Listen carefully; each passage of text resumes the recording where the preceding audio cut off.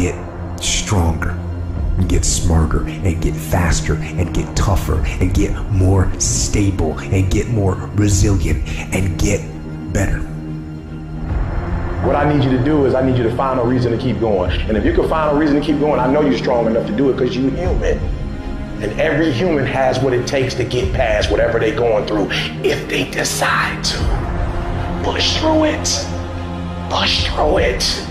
Tragedy and trials come to everybody. Only the strong survive. The fight isn't over. The fight is just beginning. Opportunity to get stronger and get smarter and get faster and get tougher and get more stable and get more resilient and get better.